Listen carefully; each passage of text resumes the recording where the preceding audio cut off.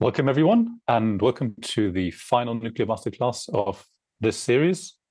Um, I hope you've enjoyed the masterclass so far. I hope you've enjoyed this webinar series so far, depending on which route you're you're on it. Um, and I'm sure you're in for a great night tonight. So my name is Christian Diget. I'm at University of York. I'm a nuclear physics researcher in nuclear astrophysics and nuclear medicine. Uh, and I'm here um, to, to lead this session, to chair this session uh, with a fantastic external speaker tonight. Uh, first, a couple of housekeeping aspects of the, of the evening. Um, if you'd like subtitles on it, uh, you can get the subtitles by using the CC um, button at the uh, on your screen. And if you have any Wi-Fi issues, you can always rejoin the webinar uh, again using the same link you've already used. Lastly, the webinar is also being recorded. So um, uh, I would, of course, encourage you to, to revisit that again uh, later on. It will be shared with all of you uh, on the Nuclear Masterclass webpage next week.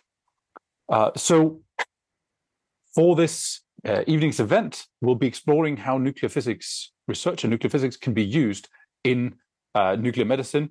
And our speaker tonight is Professor Thomas Elias Cocolios. Uh, so, welcome, Thomas. Thank you so much for joining us. Hi, Christian. Hi, nice. it's it's good to see you. Um, so, uh, just to introduce Thomas, Thomas is a an associate professor at KU Leuven in Belgium, uh, working in radiation physics, nuclear physics, both fundamental nuclear physics and applied nuclear physics, in particular in applications related to nuclear medicine, um, new treatments, new diagnostics. Um, I'll leave that to you, Thomas, to to describe all of that um, tonight. Uh, I'm certainly excited to hearing from you, uh, and I hope all of our participants are equally excited. Um, throughout the session, one thing that I had wanted to to mention was uh, Thomas is very happy to answer questions at the end of, of the session, and I will be putting your questions to Thomas. And therefore, please do use the Q&A button uh, on your screens. All of those questions will go to me, and I will try to put as many of those as we possibly can uh, to Thomas. Uh, so please do use that. Um, so with that, um, I think there's just one final uh, thing I wanted to mention about Thomas. Uh, I've known Thomas for a number of years now, uh, and one of the aspects that I've always enjoyed is uh, Thomas's knitting at conferences and webinars and everything else. Um, so uh, I thought I'd just share that little bit of, of personal experience uh, with everyone. Um, thank you so much for for that part of you uh, as well, Thomas. so with that, over to the nuclear physics and the nuclear medicine, and I will I will step back for a moment while we listen. Thank you. Okay, thank you, uh, Christian, for the invitation and for the introduction. And since I will be talking a lot today, I have uh, not brought my needles with me, but uh, I'm definitely always working on some crazy science projects with my knitting, that's for sure. But today, I'm going to be here to talk to you about uh, how nuclear physics can contribute to the nuclear medicine research and tomorrow's treatment uh, with nuclear medicine, especially against cancer. My name is Thomas Cocolios. Uh, as I said, I'm an associate professor now at KU Leuven in Belgium, but I was also um, in the UK for a while in Manchester, and I think this is when Christian and I also um, overlapped somewhat, although he was also before me in Leuven as well. So we sort of follow each other's path every now and then, and uh, and that's I'm. It's always a pleasure to uh, to collaborate on those events with you. So, what I'm going to be talking to you about uh, today, I will first get back to some basics of nuclear medicine and uh, bring to your attention what what it is and how radionuclides can be used in a medical setting, uh, either for imaging or for therapy, and how we do get the targeted action to combine with the nuclear capabilities. After that, I will bring some recent highlights and achievements in the field uh, that have quite revolutionized that field and uh, given it a really big boost and expansion in the last, say, decade. Finally, I will come to the core nuclear physics research that I am doing and uh, many of my colleagues are involved with in order to improve the possibilities of that field and maybe bring out the therapies of tomorrow. So let's start with the basics of nuclear medicine. It starts first with the imaging, and we call that molecular imaging. The idea is that you transport a radionuclide, so a radioactive substance, to a specific location in the body. Typically, you target cells or group of cells, um, and you bring the radionuclide to that location. From that point, it decays and it can emit, emit, which you've seen, different forms of radiation, alpha, beta, or gamma radiation those will have different depths of penetrations. And for example, while an alpha particle will be immediately stopped with paper, a gamma radiation will have the tendency to penetrate, to penetrate very deeply um, through different materials. That means if it is emitted from within the body, it can actually shine outside of the body. Now, if you surround the patient with an array of detectors, then you can detect those gamma rays and you can take pictures of where those molecules have arrived, where they have accumulated in the body. If you do it with sufficient orientation, so from multiple directions, say from here, from the top, from the other side, and so on, you can apply also complex algorithm to recreate a 3D picture of where those different molecules have landed, where they have been accumulated. And that is a very powerful technique to see where different processes are happening in the body. Now, how do we get this targeted action? How do we know where something is going? Uh, we can take the picture of that, but where should it be going? And then you want to see whether you get that understanding. I've divided that for myself into three big categories. The first one is just sending a free radioactive substance in the body. Uh, the example I take here is iodine.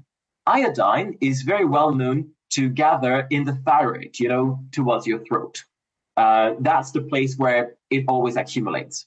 Now, if you would have, for example, a thyroid cancer that gets distributed in the body with free roaming cancer cells, then you suddenly would start to see iodine flashing from everywhere in the body. And so it's very important to see um, at which stage of development, for example, if you have a sudden growth of the thyroid. It's also useful to just map the activity of the thyroid and know, for example, if someone is suffering from hyperthyroidism. Uh, so that's uh, what iodine can be used for. Another one that you might be very familiar with is calcium. Calcium goes to the bones. You might have heard your parents telling you, however many times, please drink your milk because it's full of calcium. It's good for your bones. Well, if you give radioactive calcium, it will also go to the bones. And that allows you, for example, to map where bone growth might be happening in the body. Another way to go is to take a familiar molecule like the sugar represented here with this blue hexagon, and then replace one of the components on it by a radioactive substance.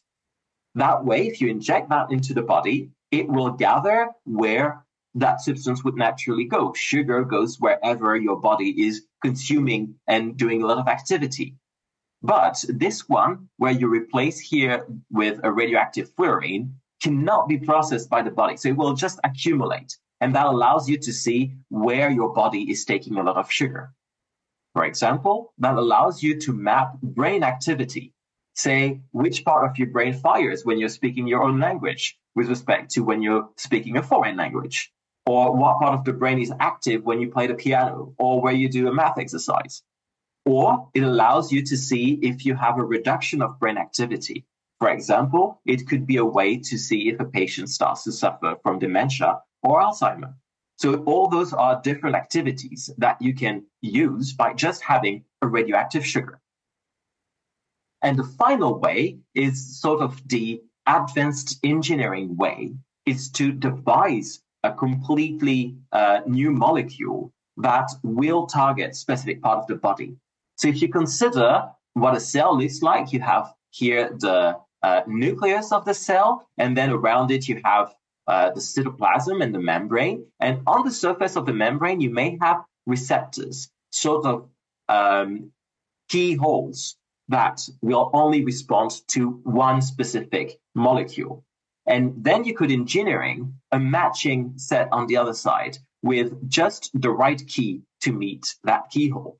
And those could be peptides or hormones or antibodies, as we presented here on the right. But when you see those, you notice how they have very different sizes. And in the body, they will behave very differently and they will move at a very different pace. Peptides will be eliminated from the body within, say, an hour, whereas an antibody can take multiple days to find its way through the body. You might have heard a lot about viruses in just common discussions in the last few years. We've all faced the COVID 19 pandemic, and we always hear that you know, there is that delay in your body responding. That delay in your body responding is the time it takes for the antibodies to be activated and to find their way through the body. And that's a few days, sometimes even a week or two. So that's why we have to be very careful then as to which radionuclide we would attach to that, and that we make sure to have a very good match between what is the biodistribution, the time things circulate through the body, what we call the pharmacokinetics, and the half-life of the radionuclide. If you attach something very long-lived to a fast-acting peptide, well, it will all be out of the body before it can decay. However, if you attach something with a very short half-life to an antibody, you will just get a beautiful picture of the bloodstream, but not of the process you are trying to map. So that's also a very important part in those designs. Now, what is the anatomy of such a radiopharmaceutical? It is made of, on the one end, your targeting system, here represented by an antibody. And then you want to attach to it a radionuclide. And we do that by sort of making a chemical cage and a linker to attach it uh, to our targeting system. And we call that a chelator. And so then it's always a question of what you are trying to target in the body with this acting molecules on one side, and then on the other, which chemical system you're going to use and which radionuclide you're going to use for your application. So now we've seen about how you use that for imaging, but I was talking about treatment. How can you switch from imaging to therapy?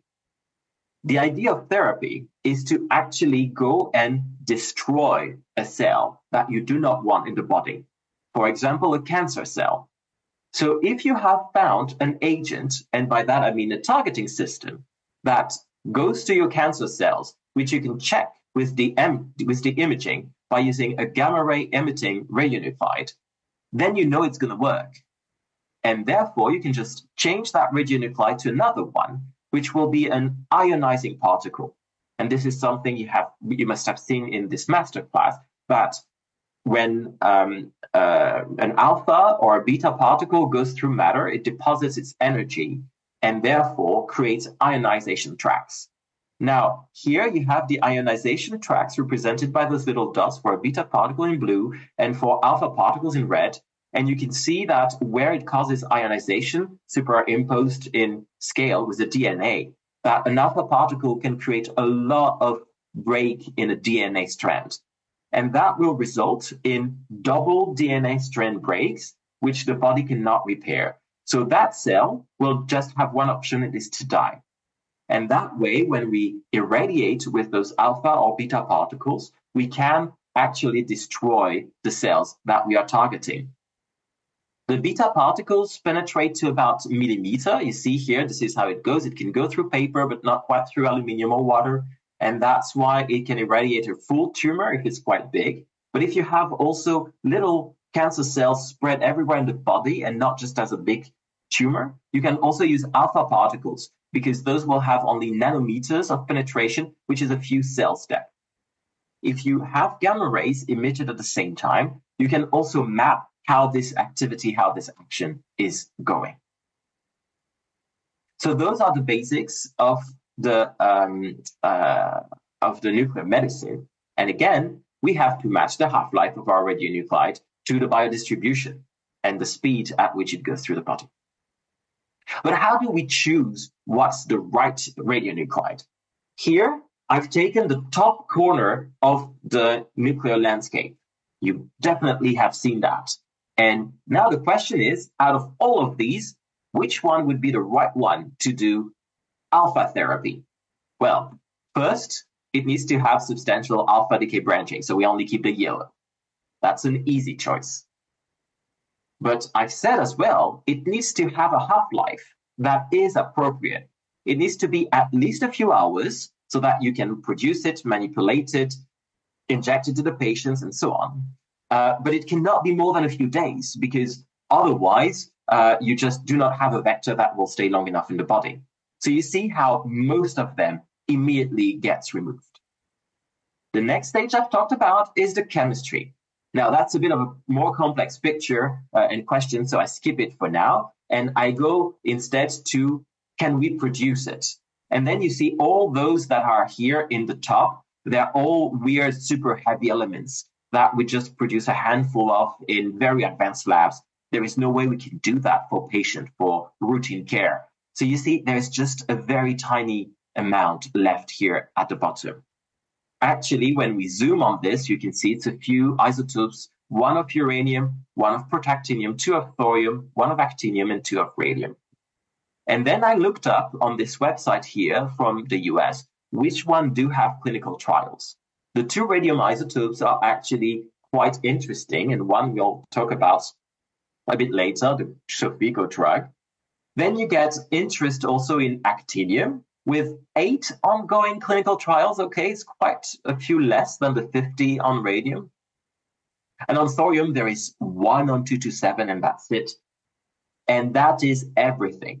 So actually, people only rely on those four.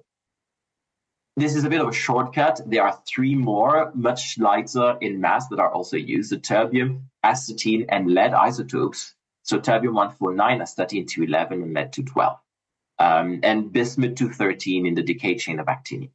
But nonetheless, uh, what it shows here is although you have thousands of radionuclides, only a handful can actually be used for targeted alpha therapy. But can they? And then you look at radium. It's the most popular. And one of the reasons for that is also because it has a long tradition if you remember your scientific history, radium is one of the first uh, radionuclide that was isolated by Marie and Pierre Curie. And then after that, people were really excited about it. They made watches that would glow in the dark with radium dials. Um, they also made, and here it's an old commercial uh, um, face cream that was guaranteed containing radium and that would take away your, uh, wrinkles. Of course, it would give you cancer as well, that they forgot to say. They even had radium salt that uh, people could uh, simply take by themselves.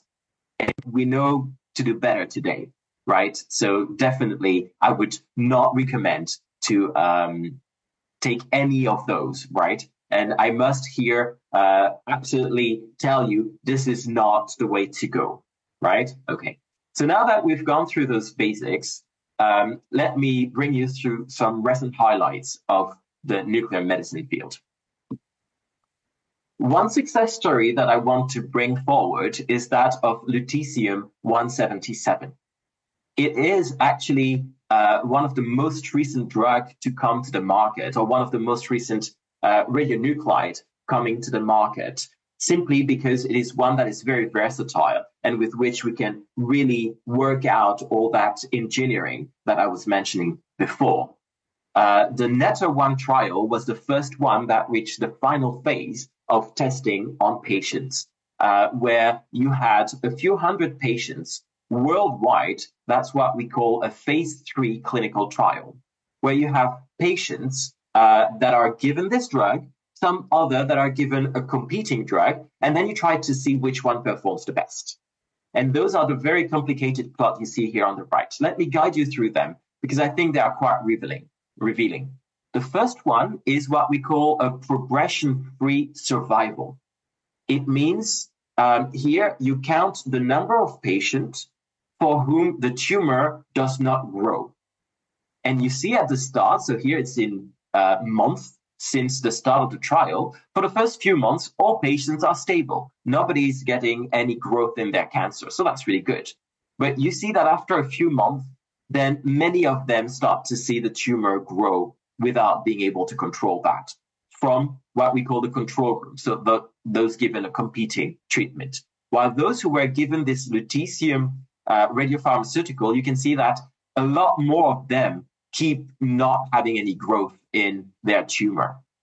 When the tumor grows, it's not only that it's bad as a cancer, but it also very so- sometimes it affects other body functions and it does affect a lot your quality of life. So here we can see that those patients were really doing a lot better. The other plot you have is what we call the overall survival. It means as long as the patient is alive, you stay here on this plot. And when someone passes away, then, you know, it starts going down. And you see here how after about two years, half of the patients in the control group had passed away. However, there were a lot more patients surviving in those treated with this drug. You have to realize as well, when patients are participating in those trials, it's after exhausting all the other treatments. So their cancers are very advanced. If you could already treat patients earlier with such drugs, you might even have a lot better improvement in their in their treatment. And this is actually what is being investigated nowadays in facilities like the University Hospital of KU Leuven, uh, where I am based. Now, based on this lutetium dotatate, with which is called Lutathera, uh, the company AAA, when they published uh, that results in 2017, from one day to the next, their value on the stock exchange exploded and they got bought for a few billion euros by the Swiss company Novartis. So it shows that there is really a big thing going on in there. And that's just one example. I could bring you a lot of example of five, six, seven companies, each of them being bought in a similar way. Uh, now, lutetium 177 has been quite successful. Here it is for the treatment of mid-gut cancer. Uh, but now they are also developing a drug, one that has come to the market last year for prostate cancer as well. And they are currently researching drugs for breast cancer, those being the ones that uh, affect the most patients nowadays. But can we do better than lutetium 177? And that's where research comes in. Lutetium 177 is now clinical routine. And in on our end, we are trying to look as whether samarium 153 might not be better. The lutetium has a half-life of six days, samarium only two days. So you can see again how the half-life may play a trick there.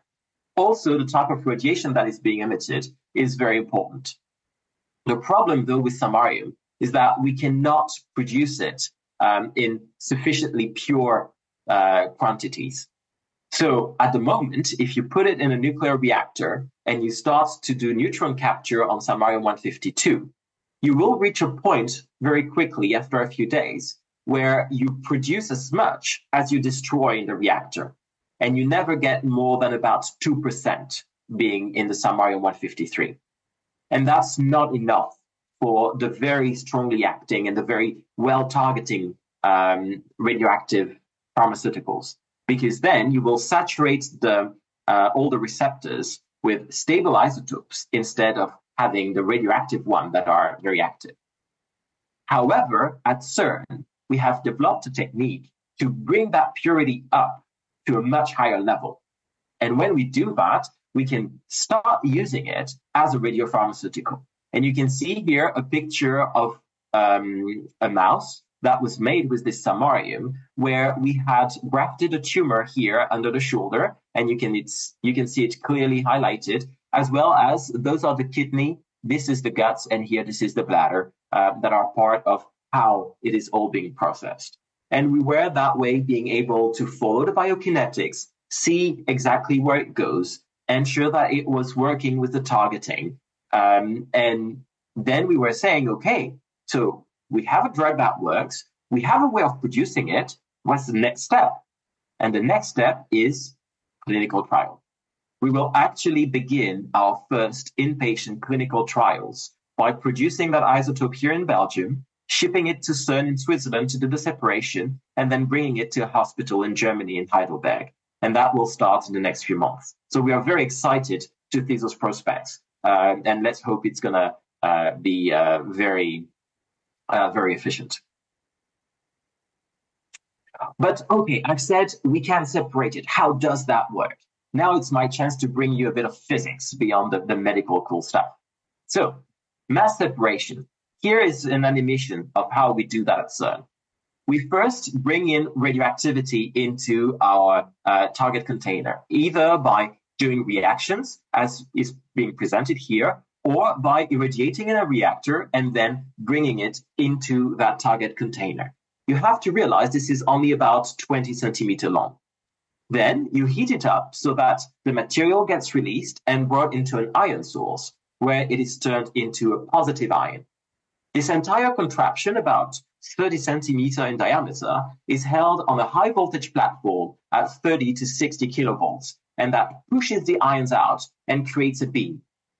That beam is then sent through the homogeneous magnetic field of a dipole magnet where it gets separated according to the mass over charge ratio. And because the charge is one, it's a mass separator. Now, what is the physics behind that? How does that work? Let me show it to you here. We create a monoenergetic beam. So it only has one energy. It's in that range, but it's either 30 or 40 or 50 or 60. Like we just choose one, and that's what we accelerate.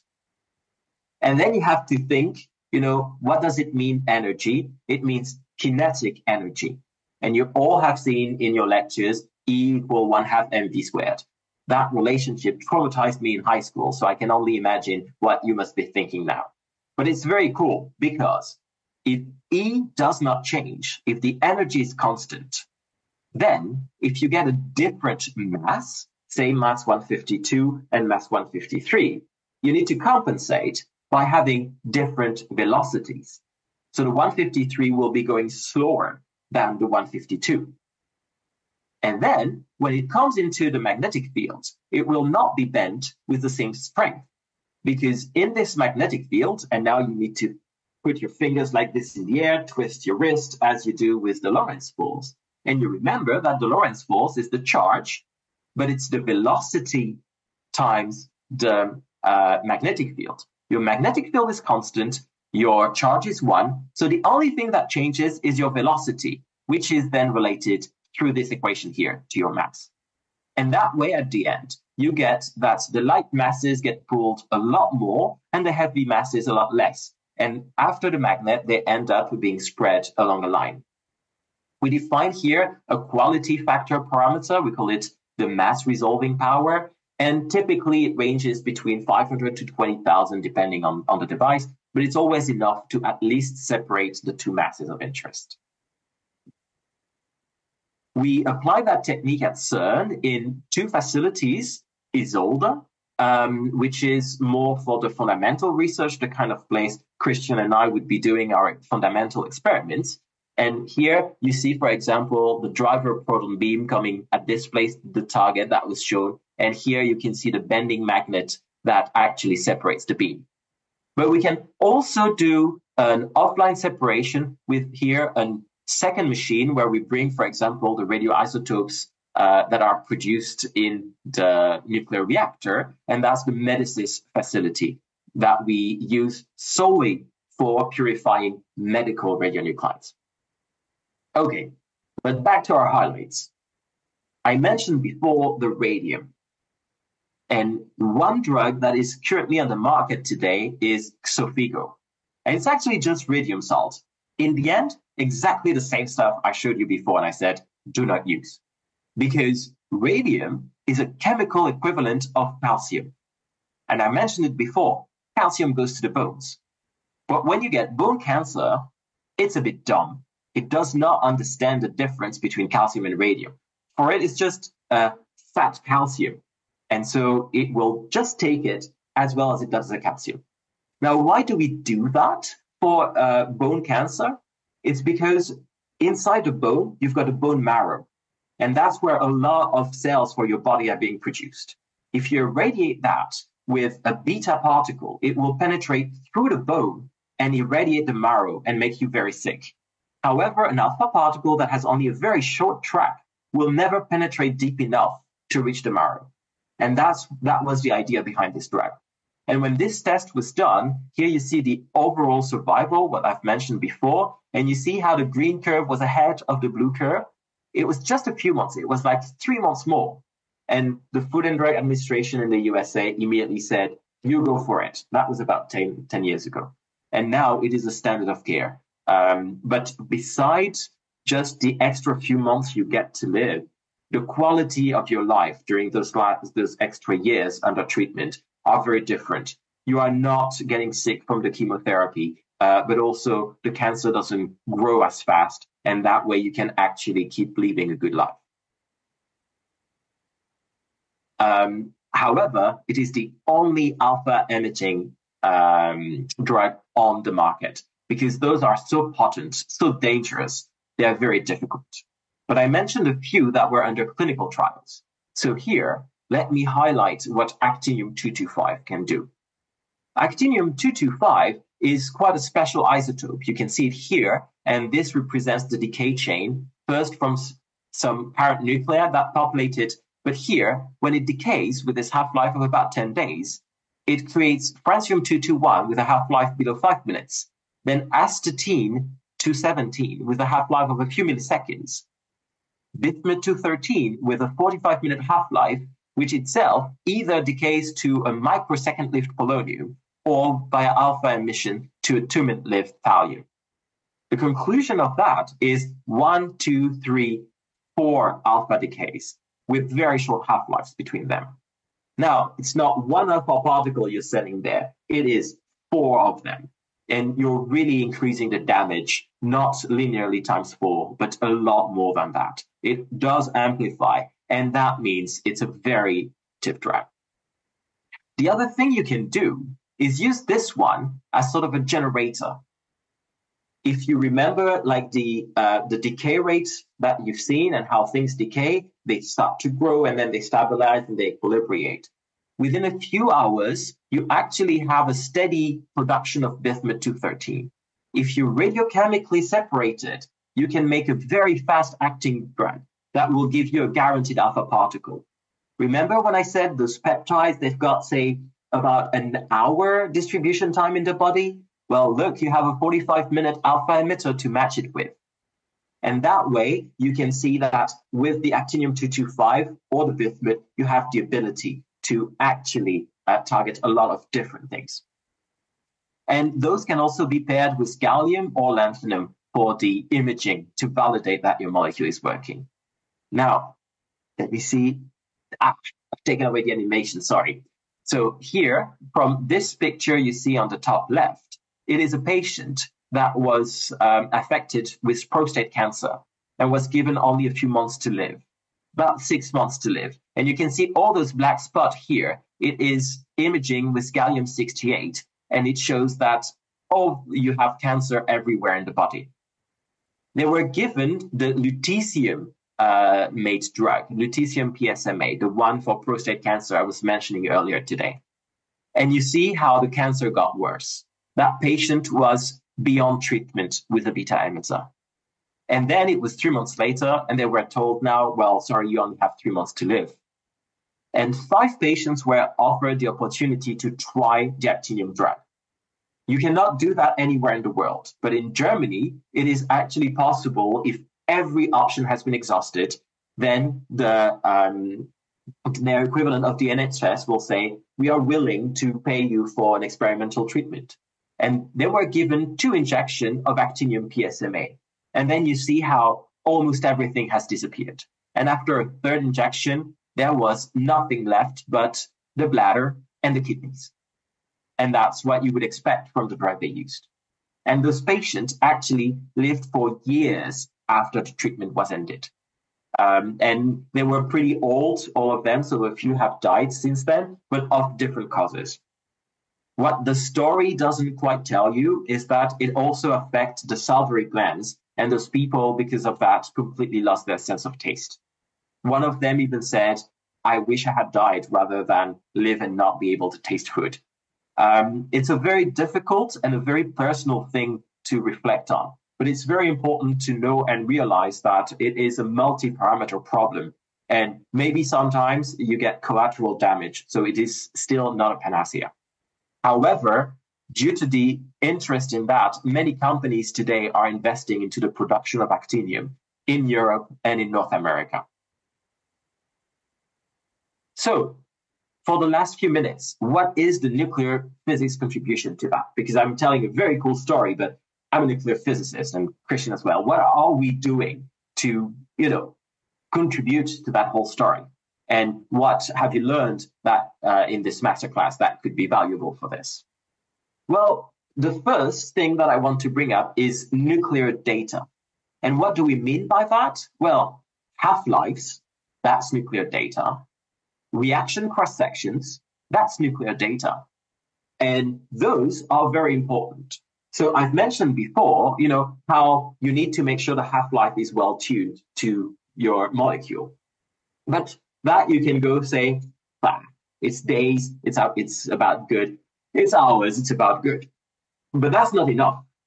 When you actually produce those, you have you produce them in one place, then you bring them somewhere else, then you manipulate them.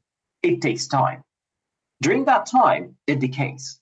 Now imagine I tell you I'm shipping to you 20 megabecquerels of um, of terbium 149, and a half life later you receive it and you count it and you say, but I only got nine.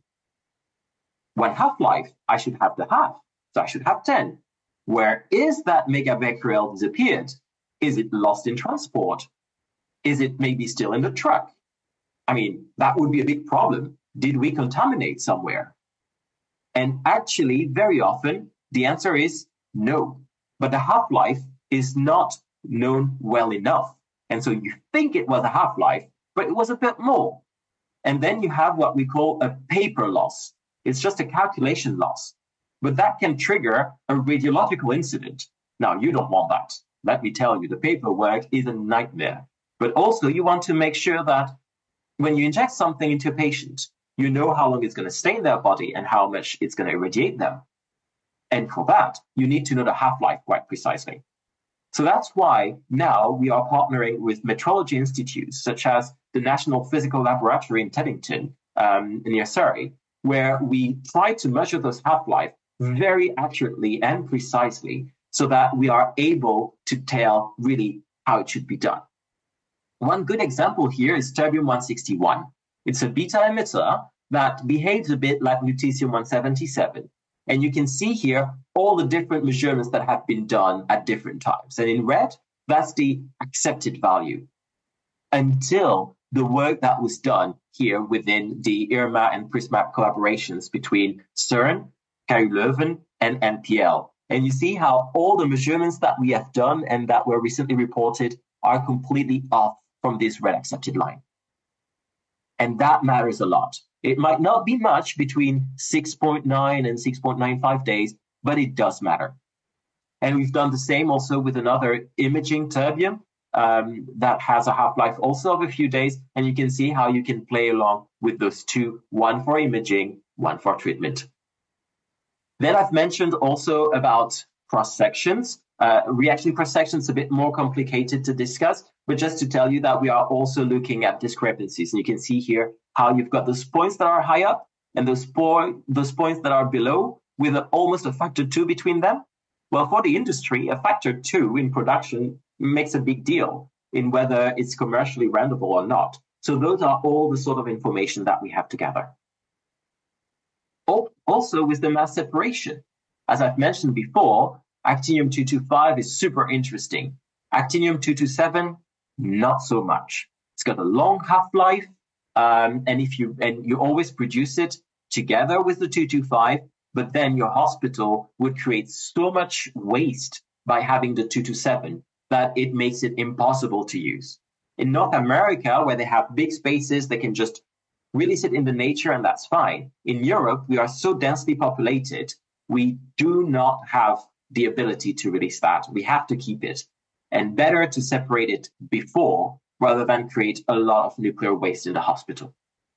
And actually, in the research led by my PhD student, Jake Johnson, um, we actually managed to realize that separation. And we are now thinking of going to clinical trial with uh, the mass separated actinium. Also in the nuclear data, if you remember this big chain, you have many isotopes. And technically, you could use any of the decays to check how much you have at the start. We know the math, that's easy. Except that when we compare all of that, you can see you don't need to see the details, but just that we have a lot of different ways of doing it. The data did not agree. Again, one of those big paper loss. That has to do in part with the half-life. You see here, that's the half-life that has been measured now. It's not about 10 days, it's 9.9179 days. But also, we need to do a lot more decay spectroscopy on those isotopes. And here you can see the um, Isolde decay station uh, that will be used to do that study. And that's a study that Christian and I will be performing together in the course of the coming year. So, can we do more for research? And our time is running out, so I will do my best to um, bring you through the key points that I want to, to say here. And it is that if you do something on your own, it's great. But if you do it together, then it's a lot better. And I've mentioned before how CERN, Leuven, and NPL are collaborating together, how Christian and I are working together on others.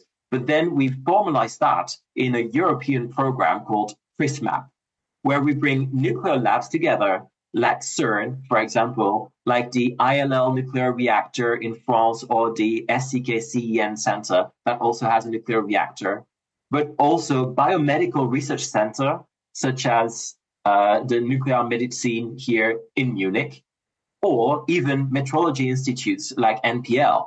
And by pooling our resources and our capabilities together, we hope to really bring that forward by covering everything from the backbone preparations to the irradiation themselves with different types of accelerators, alpha, protons, neutrons, by doing physical separation at CERN or radiochemistry to separate the products from each other, radio labeling research, and quality control assessment, all the way into um, in vitro and in vivo studies, shipping and logistics, you name it. And we take all of that under our wing.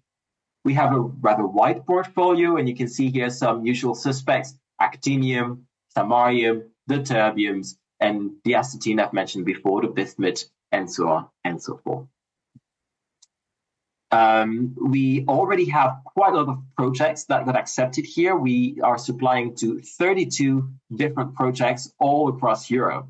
And we actually even have one that has already published their first results uh, at the end of last year where they compare the well-known lutetium-177 I mentioned with this novel terbium-161 that uh, for which I've shown some of our research. So in conclusion, I hope I've convinced you that nuclear medicine is a very promising treatment modality for cancers and um, that it both improves the survival of the patient, but also their quality of life. By tailoring the treatment to the patient's needs, we uh, need to broaden our offer in medical radionuclides and try to go beyond the usual suspects. But that asks a lot of new nuclear physics research and pipeline and supply chain to sustain that.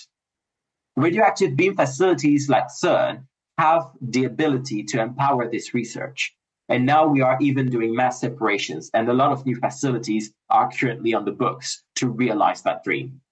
At the European level, we have PRISMAP, that has federated many partners. And the European Commission is actually at the moment talking about uh, furthering our program at least to the horizon 2030. So I thank you very much for your attention. I thank also my funding agencies who have enabled this work. Well, thank you very much, Thomas. And I can see that uh, our participants are joining me in, in thanking you. Um, so uh, thanks for sharing that. Um, we've we've got a lot of questions come in already, um, but just for participants now, uh, do feel free to to keep asking questions um, while we're talking now. Uh, I'll keep an eye out on the um, on the questions as well, and I will keep up with it as much as I can, um, as well as I can. Okay. Um, just just to get started a little bit um, on that.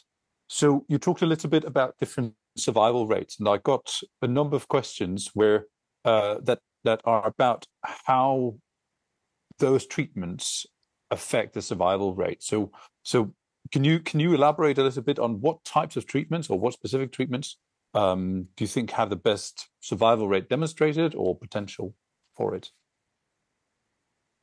Um, it's it's quite challenging because no two patients are the same, no two cancers are the same. So what is very important is making sure that you find the right treatment for your needs and that each patient is given a, a treatment that is appropriate to them. And that's why this imaging aspect is very important because you first check is that drug actually going to work on that patient? And only if you get that confirmation, then you go to the treatment. Otherwise, you start to see maybe not that one, maybe another, or maybe another. Whereas there are more global ways of doing the treatment and that are just broadly acting, but do a lot more collateral damage and a lot less control. So if you've got something that you're reacting to, fantastic, you should go for that. Otherwise, you have to compromise in a way. One thing that's quite important to realize as well, the nuclear medicine, it comes at the very end when the cancer has spread through the body. If you have a cancer that is very localized in the starting stage, surgery is still going to be the best thing, right? because you take the entire cancer away, there is no cancer left. So it is also part of a full treatment planning that a patient has undergone successively. So that's also something that's important to realize. Okay, thank you. Um, so, in terms of of side effects, you you mentioned that a little bit. So, what are the what are the different side or sort of how is it that these treatments are being optimized in order to reduce the side effects or are there are there better ways looking forward of of reducing the side effects so um, it's again the same point if you've got a drug that's very broadly acting it's gonna affect everything positively or negatively so that's when, for example, in chemotherapy, you're going to have a lot of secondary effects. However, if you get a drug that's very specific, very targeting, it will only affect what it targets. And that's the strength of the nuclear medicine. If you were to attach a radionuclide to um, very broadly acting molecule, it would simply kill that patient, right? It is so much more potent. So that's why you need to make sure that it works well. Now, in terms of how it affects a patient, um, I was very fortunate in um, in the last few weeks to be at an event in Brussels where a patient who has undergone such therapy came to talk to us, and he said, um, on the day he gets the injection, he feels a bit sick. I've shown, you know, it goes to the kidney, it goes to the bladder. So there, it will do a bit of damage. And those, you feel them in your body. You don't know what's going on, but you feel a bit, mm.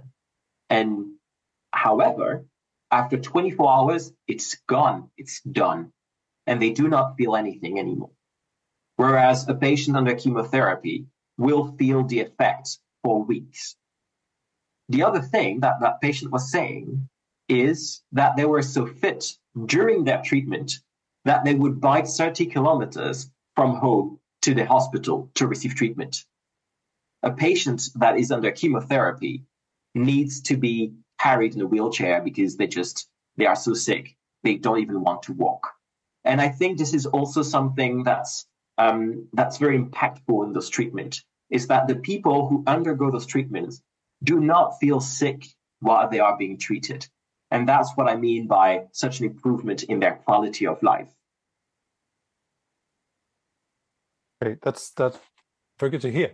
So, um, there's a very interesting question uh, from one of the participants about uh, what happens to the cancer cells as they spread through the body. Do they still replicate the original tissue um, and and the effect? So, can you target them in the same way that you would have targeted them when they were part of the original cancer, or do you need a new type of targeting? It's the one billion euro question, I would say. Um, what is known is that cancer cells mutate.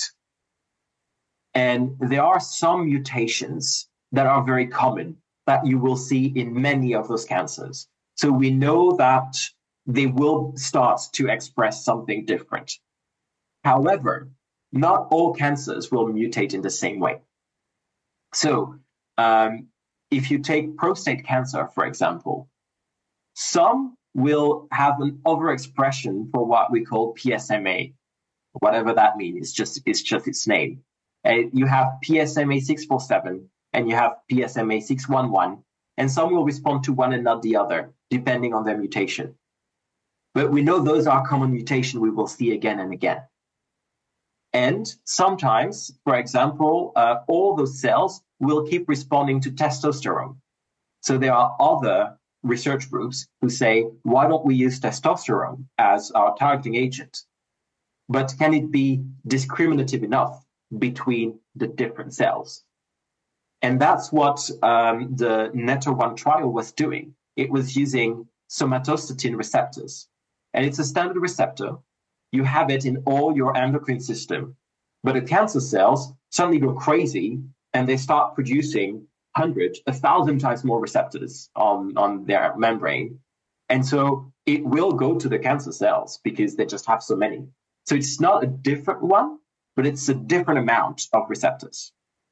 So it is, again, every patient, every cancer is going to be different. And it will change in the course of the cancer evolution for the patient. Maybe one day they're not responsive to a treatment, but maybe a month later, than they are. So that's why you always have to be um, attentive and check the evolution. Okay, fantastic. Thank you. Um, a slightly more sort of technical question on, on the cancer treatments. When you showed these diagrams of the patient treatment with um, actinium, uh, and you mentioned that the bladder and kidneys were still lighting up um, after that, uh, was that still a cancer in the bladder and kidneys, or was that a different effect? No, it is indeed a different effect. Um, so what happens is I've shown you know this construct, this radiopharmaceutical, mm-hmm. and it is a foreign particle. It is a foreign molecule in the body. So the body will clean it up, and the way it does that is by bringing it to either the liver or the kidney where it gets broken down in different parts. And then all those parts get thrown through the bladder to be excreted from the body. And that's why those different parts of the body will light up. But this is also why you tend to get sick in the first part of the treatment because those organs then gets exposed to the radiation. So sometimes part of the engineering is to try to find a way to bypass the kidney and go straight to the bladder or to even prevent it from going to the kidney and make sure that it keeps circulating in the body and so on. So it is really part of all the um, the body biochemistry and and bioengineering that is required in the development of those radiopharmaceuticals. Okay, thank you. So so you've already so now you just touched a little bit on how the body gets rid of of it as waste, but but more broadly, when you produce these radioactive elements, if it doesn't do the job, or if you if you it turns out you can't use it for what you'd intended to use it for, and you need to get rid of it, how do you dispose of it? So the the nice thing, if I can say that, with those isotopes is that they are short-lived by waste standards. The longest lived is actinium 225 with a half-life of 10 days. So you just wait a month or two and then it's all gone. Right. So that's the advantage of it. However, what is true and what I've mentioned is the co-production, for example, of actinium 227 and its half-life is 22 years. You cannot wait five half-lives because that's a century. So then you have indeed a problem. Now, there are different ways we are trying to, to look at that. As I've mentioned, if we can separate it before, then we handle it with the standard radioactive waste treatment in our nuclear uh, facilities, in our nuclear infrastructures, where we have the right facilities, where we have the licenses, where we have the partnership with the different companies that handle those things. In the hospital, they actually need to have special toilets that the patients who get injected with um, radiopharmaceuticals have to use. And they can only use those toilets so that we can collect all the radioactivity and let it decay. I even saw the development of um, a filtering toilet that would separate then and only keep the radioactive material and concentrate it to reduce the volume of waste. Unfortunately for them, um, it if they if they had kept it diluted, they could have eventually released it because they concentrated it. Then it was deemed to be long-term uh, radioactive waste, so it cost them a lot more than what they thought they were gaining. Uh, but that's then a, a, legislation issue that needs to be um, explored a bit more thoroughly. Okay, um, thank you. So uh, there are also quite a lot of questions in relation to uh, the sort of future aspects. What what do you think? How do you see the future of nuclear medicine? Is it going to be a more dominant part of the of cancer treatments in the future, or do you think it's on its way out, or how do you think it's going to develop over the coming um, decades while while we're working and and actually while the next generation of of scientists are taking over from us? Yeah. So um, there are a lot of different groups that have looked into such projections so i want to first bring their their views rather than my personal gut feeling their insight is that therapy will take over so i would say in the last 50 years besides thyroid cancer, there were very few therapies. It was mostly imaging, brain activity, or that sort of things. Um, but in the last few years, we've seen, in the last decade, I would say, we have seen the release of a lot of different new drugs, Xofigo, Lutathera, uh, things that get sold for billions of euros. And they expect this growth to be uh, tenfold in the coming 10 to 20 years. So really, uh, there will be an explosion in therapy that will be accompanied with the need for imaging because you cannot do therapy without validating it with imaging. So that will also grow together with the therapy.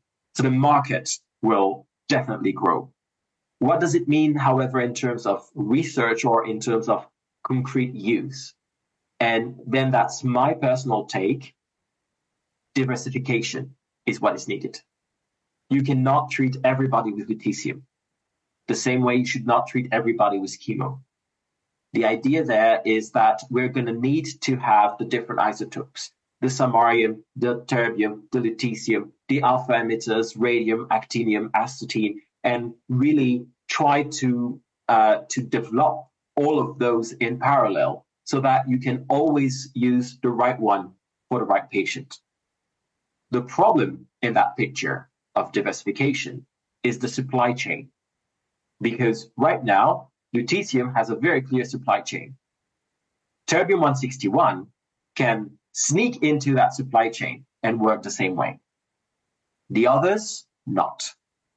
So we need new accelerator facilities. We need research into the production and into the logistics. And we need, once we have done all of that, a network, a distributed network of facilities that will guarantee the supply and the reliability of that supply. Funnily enough, the European Commission is thinking the same.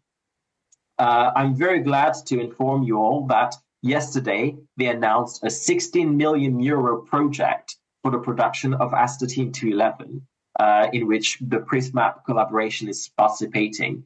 Um, and that means, you know, there is really this this understanding that it will require a lot of um, uh, a lot of involvement and a lot of developments in the near future.